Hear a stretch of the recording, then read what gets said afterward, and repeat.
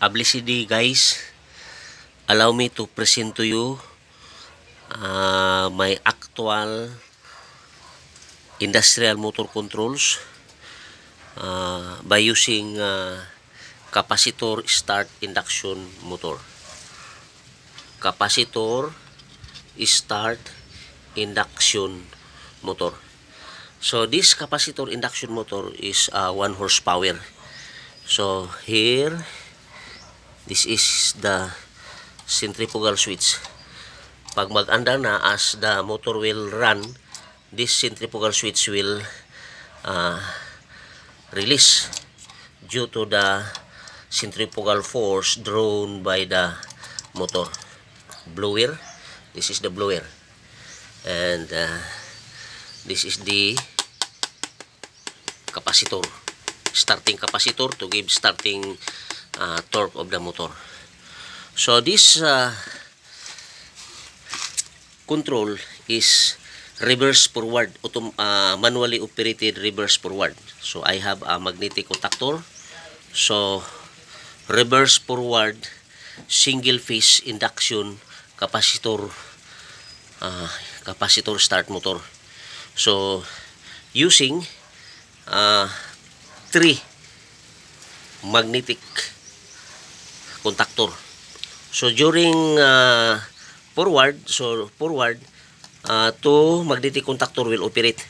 The main contactor and the forward. This is forward magnetic contactor. This is reverse.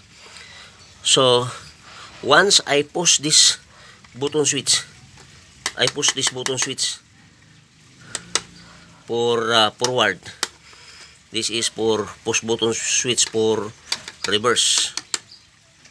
So this uh, this uh, capacitor start motor uh, reverse forward uh, using three magnetic contactor. All right. Uh, let us try. So the motor is forward. Forward this one uh, counter uh, forward rotation then reverse as I push this uh, button. All right stop button. This is stop button. Uh, to station. Uh, stop button. Uh, start. Right start. Let us try the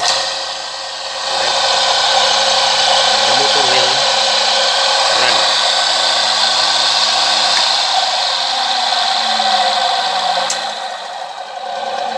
run in a forward direction. Then if we then stop then reverse. This is the reverse reverse button. We will try. Alright the motor now is running in a reverse direction. So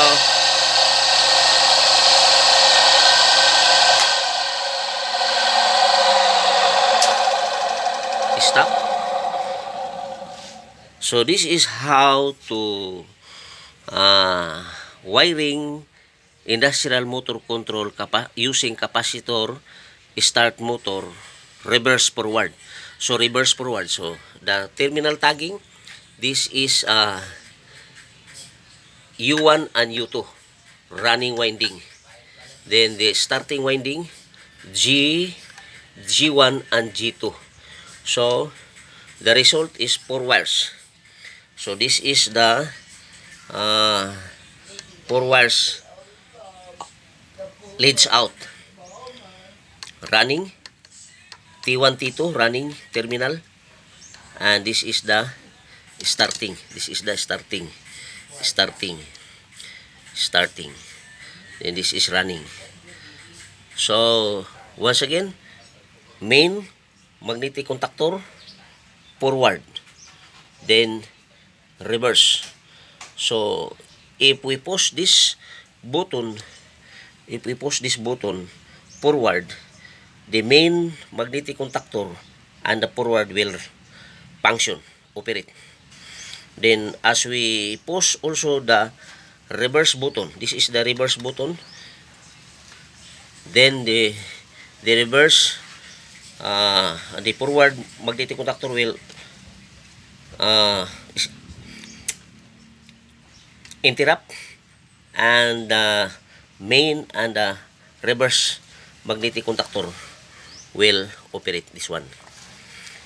So this is how to reverse forward the capacitor start motor four wires using three magnetic contactor so thank you for uh, viewing this uh, industrial motor controls and uh, subscribing our uh, YouTube channel.